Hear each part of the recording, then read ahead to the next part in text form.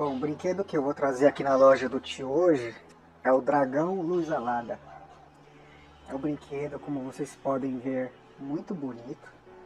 A gente tem ele aí no poder de Safira, que é esse azulzinho. Você vê aqui que as asas são de, silicone, né? Que dá pra você mexer bastante. Aqui também a parte dos chifres dele, também silicone. A linguinha também. Você vê que é um brinquedo com acabamento muito bom. Uma peça assim realmente muito bonita. Olha aqui o detalhe das escamas dele. Que bonito. A gente vê, ó, foi feito com muito carinho assim. Nível de acabamento muito, muito bom mesmo. E a gente vai ter ele na cor azul, né? Que seria o dragão de Zafira. E na cor vermelha, seria o dragão rubi. Olha só. Qual dos dois vocês acham que é, que é mais bonito? Eu tendo a gostar mais do azul, porque quando eu era adolescente eu li um livro que se chama Eragon.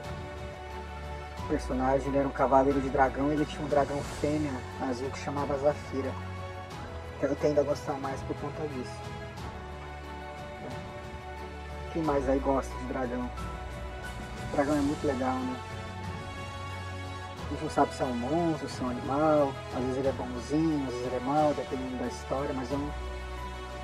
são criaturas assim fascinantes. Esse brinquedo aqui, ele também ele, ele anda, né? E ele acende os olhos, ele precisa de três pilhas palitos para funcionar.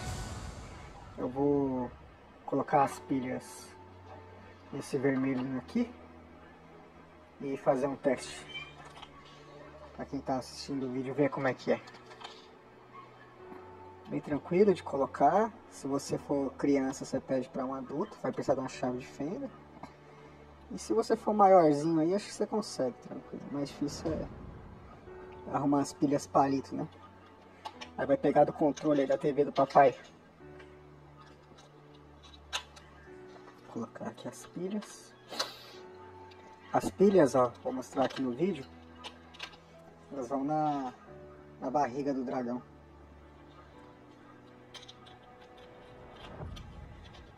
Aqui. Vamos ver? Ele dando vida a ele. 3, 2, 1. Olha que legal.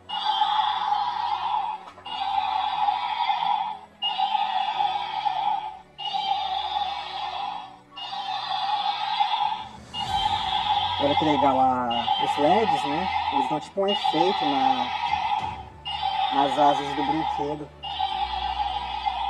Isso eu acho muito legal. Como as asas são transparentes, né? O LED ele brilha e reflete nas asinhas dele.